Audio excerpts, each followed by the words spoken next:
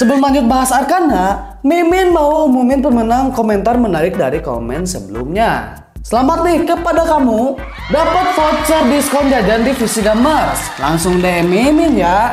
Oke lanjut. Buat kalian yang masih bingung nih soal Arkana, tenang aja cuy. Mimin juga awalnya begitu. Setelah ngulik dikit, Arkana itu kayak emblem di Mobile Legend. Sama-sama item gitu yang bikin hero kuat. Nah, Mimin kasih gambaran nih buat kalian. Jadi Arkana itu ada tiga urutannya nih.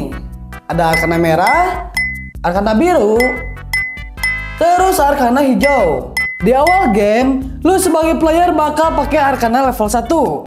Sering main, nanti levelnya bakal bertambah tuh ke level 5, which is itu yang paling kuat. Tapi apa sih fungsi emblem itu, Min? Eh, masa gitu aja nggak tahu? Ya udahlah nih, Mimin jelasin buat kalian. Perhatikan baik-baik ya. Fungsi Arkana itu sama kayak emblem di ML.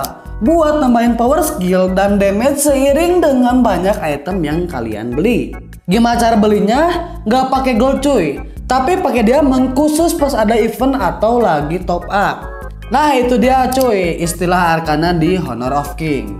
Biar makin semangat, gas langsung komentar menarik di bawah ya. Kenapa kalian harus rechat DM di VC Gamers?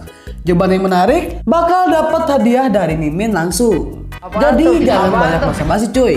By the way, gampang dapet Arkana atau emblem? Tulis di komentar juga ya.